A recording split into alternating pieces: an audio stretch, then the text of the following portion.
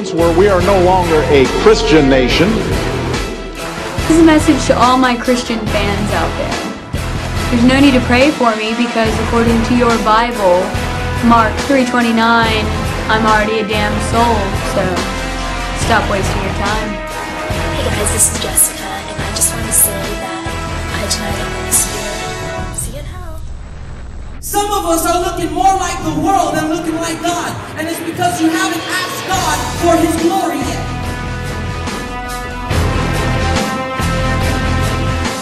Lord, let your glory shine upon me. I want to look more like you than look like the world. Oh, Set me apart, make me different, distinguish